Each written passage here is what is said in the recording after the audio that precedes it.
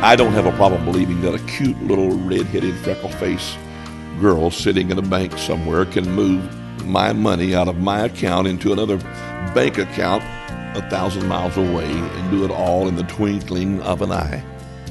It's called making an instant transfer.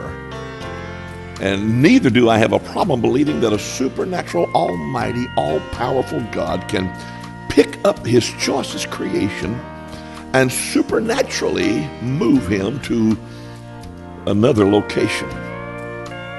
In the book of Acts, we find the story of evangelist Philip, and he was preaching to one man. But the next time, the next time you see him, the Spirit has caught him away, and in a moment's time, his ministry has gone from one to thousands in a split second. And he was found preaching in another city some 40 miles away.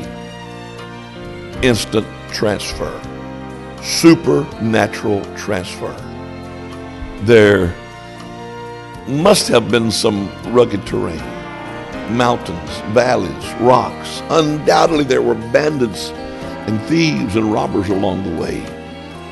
Still, everything between where he was and where God wanted him to be became irrelevant and meaningless.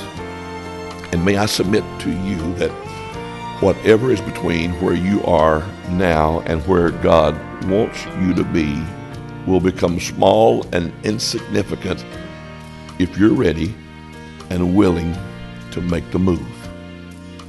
Instead of bringing the manna to you in the desert, would it be all right if he just carried you into a land flowing with milk and honey?